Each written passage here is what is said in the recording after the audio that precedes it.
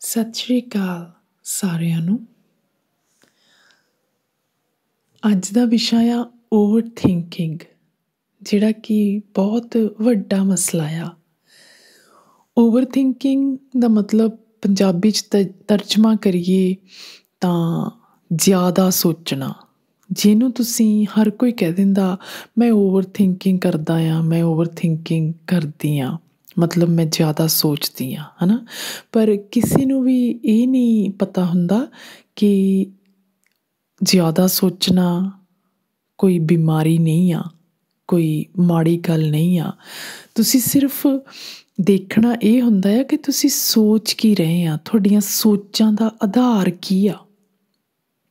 ਤੁਸੀਂ, ਤੁਹਾਡੇ ਖਿਆਲ ਕੀ ਨੇ ਜਦੋਂ ਤੁਸੀਂ ਬੈਠੇ ਸੋਚ ਰਹੇ ਆ? ਤੁਹਾਡੇ ਖਿਆਲ ਤੁਹਾਨੂੰ ਕਿੱਧਰ ਨੂੰ ਲੈ ਕੇ ਜਾ ਰਹੇ ਨੇ? ਚੜ੍ਹਦੀ ਕਲਾ ਵੱਲ ਜਾਂ ਢਹਿੰਦੀ ਕਲਾ ਵੱਲ? ਜਾਂ ਤੁਸੀਂ ਝੋਰਾ ਕਰ ਰਹੇ ਆ, ਤਾਂ ਉਹ ਸੋਚਾਂ ਮਾੜੀਆਂ ਨੇ।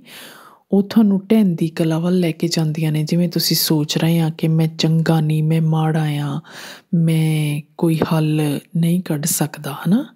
ਉੱਥੇ ਹੁੰਦਾ ਆ ਕਿ ਤੁਹਾਨੂੰ ਪੂਰੀ ਜਾਣਕਾਰੀ ਦੀ ਘਾਟ ਦਾ ਹੋਣਾ। ਤੁਹਾਨੂੰ ਕਿਸੇ ਵੀ ਚੀਜ਼ ਦੀ ਪੂਰੀ ਜਾਣਕਾਰੀ ਨਹੀਂ ਆ ਜਦੋਂ। ਉਦੋਂ ਤੁਸੀਂ ਸੋਚਾਂ ਸੋਚਦੇ ਰਹਿੰਦੇ ਆ ਬੈਠੇ। ਜਿਵੇਂ ਤੁਹਾਨੂੰ ਪਤਾ ਨਹੀਂ ਆ ਕਿ ਤੁਹਾਡਾ ਸਿਰ ਦਰਦ ਕਰਦਾ ਆ ਤੇ ਇਹਦੇ ਹੋਰ ਵੀ ਹੱਲ ਹੈਗੇ ਨੇ। ਕੱਲਾ ਚੱਕ ਕੇ ਗੋਲੀ ਸਿੱਟ ਲੈਣਾ ਅੰਦਰ, ਦਵਾਈ ਖਾ ਲੈਣਾ ਹੀ ਇਲਾਜ ਨਹੀਂ, ਉਹ ਇਨਸਟੈਂਟ ਇਲਾਜ ਆ। ਪਰ ਤੁਹਾਨੂੰ ਉਹੀ ਪਤਾ ਆ ਸੋ ਤੁਸੀਂ ਜੇ ਨਹੀਂ ਤੁਹਾਡੇ ਕੋਲ ਗੋਲੀ ਹੈਗੀ ਤਾਂ ਤੁਸੀਂ ਬੈਠੇ ਸੋਚਦੇ ਰਹੋਗੇ ਕਿ ਹੁਣ ਸਿਰ ਦੁਖਣ ਲੱਗ ਪਿਆ, ਹੁਣ ਇਹ ਕਿਵੇਂ ਹਟੂਗਾ, ਹਨਾ? ਪਰ ਜੇ ਤੁਹਾਨੂੰ ਪਤਾ ਹੋਵੇ ਕਿ ਹਾਂ, ਮੈਂ ਜੇ ਪਾਣੀ ਦੇ ਦੋ ਗਲਾਸ ਪੀਊਂਗਾ ਜਾਂ ਮੈਂ ਉੱਠ ਕੇ ਵਾਕ ਕਰਾਂਗੀ ਜਾ ਕੇ 30 40 ਮਿੰਟ ਮੈਂ ਤੁਰ ਲੂੰਗੀ, ਮੈਂ ਆਕਸੀਜਨ ਵਾਧੂ ਲੈ ਲੂੰਗੀ, ਤਾਂ ਮੇਰਾ ਸਿਰ ਤਾਂ ਵੀ ਹਟ ਜਾਣਾ ਆ। ਤਾਂ ਫਿਰ ਤੁਸੀਂ ਸੋਚਾਂ ਨਹੀਂ ਸੋਚੋਗੇ ਫਿਰ ਤੁਸੀਂ ਹੱਲ ਕੱਢਣ ਵਾਲਿਆਂ ਚੋਂ ਹੋਵੋਗੇ ਤੇ ਤੁਹਾਡੀ ਚੜ੍ਹਦੀ ਕਲਾ ਹੀ ਹੋਵੇਗੀ। ਪਰ ਜੇ ਤੁਸੀਂ ਹੁਣ ਬੈਠੇ ਬੈਠੇ ਸੋਹਣਾ ਸੋਚ ਰਹੇ ਆ, ਤੁਸੀਂ ਖਿਆਲੀ ਪੁਲਾਓ ਵੀ ਪਕਾ ਰਹੇ ਆ, ਤੁਸੀਂ ਇਹ ਕਹਿ ਰਹੇ ਆ ਕਿ ਮੈਂ ਬਹੁਤ ਵੱਡਾ ਬੰਦਾ ਆ, ਤੁਸੀਂ ਸੋਚ ਰਹੇ ਆ ਕਿ ਮੈਂ ਕਿੰਨੀ ਫਿਟ ਆ ਮੈਂ ਫਿਜ਼ੀਕਲੀ ਫਾਈਨੈਂਸ਼ੀਅਲੀ ਇਮੋਸ਼ਨਲੀ ਮੈਂ ਸਾਰੇ ਪਾਸਿਓਂ ਮੈਂ ਸੰਪੂਰਨ ਆ ਸਮਰੱਥ ਆ ਬਸ ਆਪਣੇ ਬਾਰੇ ਐਦਾਂ ਦੀਆਂ ਸੋਚਾਂ ਸੋਚੀ ਜਾਂਦੇ ਆ ਬੈਠੇ, ਤਾਂ ਇੱਕ ਦਿਨ ਉਹ ਵਾਪਰਨ ਲੱਗ ਪਊਗਾ। ਤੇ ਉਹ ਓਵਰ ਥਿੰਕਿੰਗ ਮਤਲਬ ਜ਼ਿਆਦਾ ਸੋਚਣਾ ਚੰਗਾ ਆ ਨਾ। ਤੁਸੀਂ ਉਸ ਆਪਣੀ ਸੋਚ ਨੂੰ ਨਵਾਂ ਆਕਾਰ ਦਿਓ। ਸੋਚਣਾ ਮਾੜਾ ਨਹੀਂ ਆ, ਸੋਚਦੇ ਕੀ ਆ, ਉਹ ਚੰਗਾ ਮਾੜਾ ਆ। ਜਿਵੇਂ ਕੋਈ ਵੀ ਚੀਜ਼ ਆ ਧਰਤੀ ਤੇ ਬਣੀ, ਉਹ ਕਿਸੇ ਉਹਦੇ ਵਿੱਚ ਗੁਣ ਹੁੰਦੇ ਨੇ, ਉਹ ਕਿਸੇ ਕੰਮ ਲਈ ਬਣੀ। ਜਿਵੇਂ ਤੁਹਾਡਾ ਫੋਨ ਵੀ ਕਿਸੇ ਕੰਮ ਲਈ ਬਣਿਆ। ਹੁਣ ਤੁਸੀਂ ਇਹਦੀ ਵਰਤੋਂ ਕਿਵੇਂ ਕਰਦੇ ਆ? ਉਹ ਚੰਗੀ ਮਾੜੀ ਆ, ਵੱਧ ਕਰਦੇ ਆ ਜਾਂ ਘੱਟ ਕਰਦੇ ਆ। ਐਵੇਂ ਹੀ ਦੁਨੀਆ 'ਚ ਜਦੋਂ ਅਸੀਂ ਗੱਲਾਂ ਸਿੱਖਣ ਨਿਕਲਦੇ ਆ ਤਾਂ ਇੱਕ ਗੱਲ ਉੱਡ ਜਾਂਦੀ ਆ, ਅਸੀਂ ਉਹਦਾ ਸੈੱਟ ਬਣਾ ਲੈਨੇ ਗੱਲਾਂ ਦਾ ਸੈੱਟ ਆਫ ਬਲੀਫ ਜਿਹਨੂੰ ਕਹਿੰਦੇ ਆ ਕਿ ਹਾਂ ਕਹਿਤਾ ਗਿਆ ਕਿ ਫੋਨ ਬਹੁਤ ਮਾੜੀ ਚੀਜ਼ ਆ ਟੀਵੀ ਮਾੜਾ ਆ, ਫਲਾਨਾ ਚੀਜ਼ ਮਾੜੀ ਆ, ਉਹ ਮਾੜੀ, ਖੰਡ ਮਾੜੀ ਕਿਉਂ ਮਾੜਾ? ਅਸੀਂ ਇਹ ਨਹੀਂ ਦੇਖਦੇ ਕਿ ਉਹਦੀ ਵਰਤੋਂ ਕਿੰਨੀ ਕਰਨੀ ਆ। ਬਸ ਸਾਨੂੰ ਉੱਥੇ ਜਾਣਕਾਰੀ ਦੀ ਘਾਟ ਹੁੰਦੀ ਆ। ਕੋਈ ਵੀ ਚੀਜ਼ ਮਾੜੀ ਨਹੀਂ ਆ ਜਿਹੜੀ ਬਣਾਈ ਗਈ ਆ। ਅਸੀਂ ਉਹਨੂੰ ਵਰਤਦੇ ਕਿੰਨਾ ਆ। ਇਦਾਂ ਹੀ ਹੁਣ ਤੁਹਾਡਾ ਮਨ ਨਹੀਂ ਮਾੜਾ ਹੈਗਾ। ਜਾਂ ਤੁਸੀਂ ਕੋਈ ਜੇ ਕਰਮ ਮਾੜਾ ਕਰਤਾ ਆ ਤਾਂ ਉਹ ਨਹੀਂ ਮਾੜਾ। ਤੁਸੀਂ ਉਹਨੂੰ ਡੀਲ ਕਿਵੇਂ ਕੀਤਾ, ਉਹਦਾ ਹੱਲ ਕਿਵੇਂ ਕੱਢਿਆ ਜਾਂ ਨਹੀਂ ਕੱਢਿਆ, ਜਾਂ ਤੁਸੀਂ ਆਪਣੇ ਮਨ ਦੀ ਜਾਂ ਆਪਣੇ ਸਮੇਂ ਦੀ ਵਰਤੋਂ ਕਿਵੇਂ ਕਰ ਰਹੇ ਆ? ਆਪਣੇ ਖਿਆਲਾਂ ਦੀ ਦੁਰਵਰਤੋਂ ਤੇ ਨਹੀਂ ਕਰ ਰਹੇ, ਬਿਨਾ ਮਤਲਬ ਤੋਂ ਬੈਠੇ ਸੋਚੀ ਤੇ ਨਹੀਂ ਜਾ ਰਹੇ, ਹਨਾ? ਉਹ ਚੀਜ਼ਾਂ ਚੰਗੀਆਂ ਮਾੜੀਆਂ ਨੇ, ਜਿੱਦਣ ਤੁਹਾਨੂੰ ਇਹ ਪਤਾ ਲੱਗ ਗਿਆ ਕਿ ਮੈਂ ਤੱਥ ਕਿਵੇਂ ਕੱਢਣੇ ਨੇ, ਜੇ ਇਸ ਵੇਲੇ ਮੈਂ ਸੋਚ ਰਹੀ ਆ ਬੈਠੀ ਕਿ ਮੈਨੂੰ ਆਹ ਰੋਗ ਲੱਗ ਗਿਆ ਤੇ ਉਹ ਰੋਗ ਦਾ ਮੁਸ਼ਕਲ ਆਈ ਆ, ਉਹ ਵੀ ਕਿਤੋਂ ਆਈ ਆ ਨਾ ਚੱਲ ਕੇ, ਤੇ ਫਿਰ ਉਹਦਾ ਹੱਲ ਵੀ ਹੋਵੇਗਾ। ਜਦੋਂ ਤੁਸੀਂ ਉਹਦਾ ਹੱਲ ਕੱਢਣ ਤੁਰ ਪੋਗੇ ਤੁਹਾਨੂੰ ਪਤਾ ਲੱਗ ਜੂ ਕਿ ਇਸ ਚੀਜ਼ ਦਾ ਇਹ ਹੱਲ ਆ, ਹਨਾ?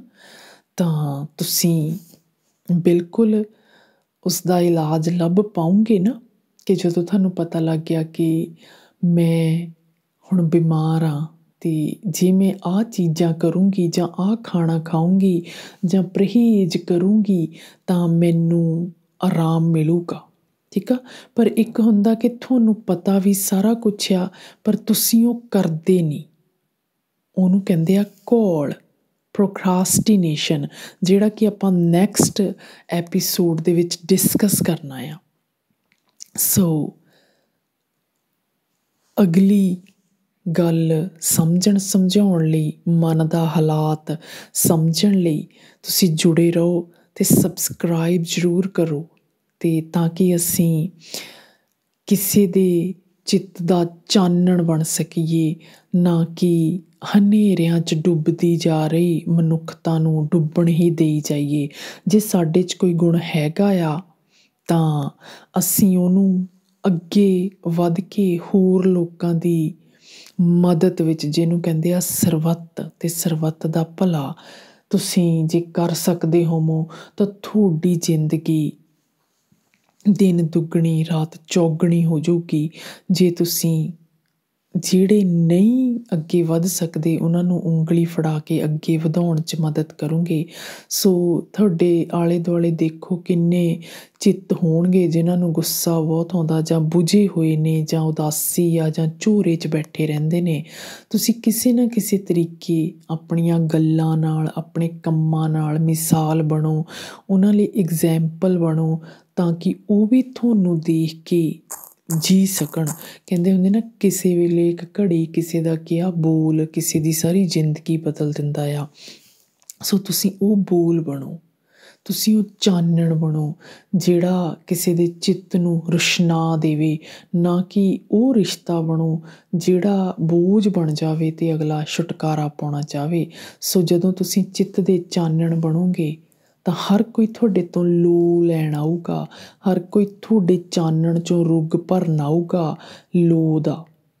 ਪਰ ਜੇ ਤੁਸੀਂ ਤੁਹਾਡੇ ਕੋਲ ਚਾਨਣ ਹੈ ਹੀ ਨਹੀਂ, ਫਿਰ ਹਨੇਰੇ 'ਚ ਕੋਈ ਵੀ ਰੁਕਣਾ ਨਹੀਂ ਚਾਹੁੰਦਾ। ਸੋ ਅਸੀਂ ਕੀ ਬਣਨਾ ਆ? ਚਾਨਣ। ਆਪਣੇ ਚਿੱਤ ਨੂੰ ਰੁਸ਼ਨਾ ਕੇ ਦੂਜਿਆਂ ਦੇ ਚਿੱਤ ਦਾ ਚਾਨਣ ਬਣਨਾ ਆ। ਤੇ ਫਿਰ ਤੁਸੀਂ ਕਦੇ ਨਹੀਂ ਕਹੋਗੇ ਕਿ ਮੇਰਾ ਧਰਤੀ ਤੇ ਆਉਣਾ ਚੰਗਾ ਨਹੀਂ ਆ, ਮਾੜਾ ਆ ਜਾਂ ਕੁਛ ਵੀ ਆ, ਤੁਸੀਂ ਜਿਉਂਗੇ ਅਤੇ ਆਪਣੇ ਸਾਹਾਂ ਦੀ ਲੜੀ ਨੂੰ ਹੋਰ ਵਧਾਉਂਦੇ ਜਾਓਗੇ। ਸੋ ਉਹਦੇ ਲਈ ਇੱਕੋ ਹੀ ਚੀਜ਼ ਜ਼ਰੂਰੀ ਹੁੰਦੀ ਆ ਕਿ ਸਿੱਖਦੇ ਰਹੋ ਅਤੇ ਸਿਖਾਉਂਦੇ ਰਹੋ। ਸਿਖਾਉਣ ਨਾਲ ਵੀ ਸਮਝ ਵੱਧਦੀ ਆ ਅਤੇ ਓਵਰ ਥਿੰਕਿੰਗ ਜ਼ਰੂਰ ਕਰੋ, ਪਰ ਚੰਗੇ ਖਿਆਲਾਂ ਦੀ। ਅਤੇ ਚੈਨਲ ਨੂੰ ਸਬਸਕ੍ਰਾਈਬ ਕਰ ਲਓ ਤਾਂ ਕਿ ਅਸੀਂ ਅਗਲਾ ਐਪੀਸੋਡ ਜਿਹੜਾ ਆ ਘੋਲ ਤੇ ਉਹ ਬਣਾ ਕੇ ਅਤੇ ਉਹਨੂੰ ਵੀ ਸੁਣ ਕੇ ਹੱਲ ਕੱਢੀਏ।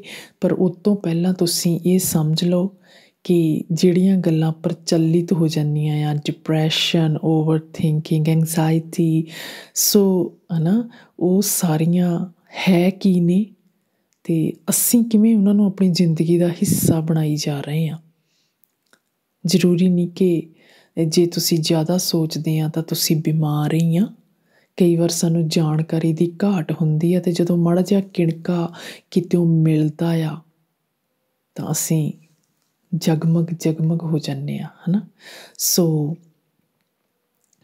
ਸਭ ਤੋਂ ਜ਼ਰੂਰੀ ਆ